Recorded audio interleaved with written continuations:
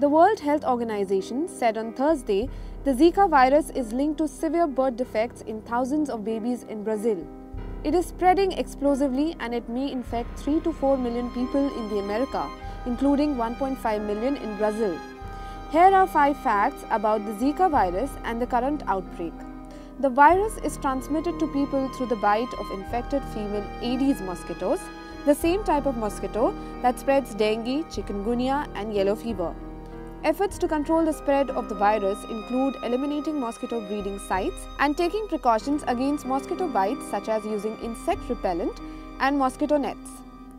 There is no treatment or vaccine available for Zika infection.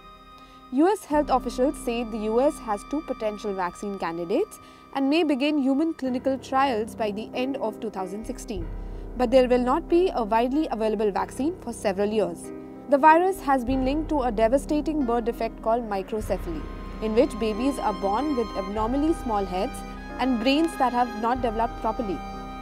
Research by Brazilian authorities indicates the greatest risk of microcephaly appears to be associated with infection during the first trimester of pregnancy. Zika virus is found in tropical locales with large mosquito populations.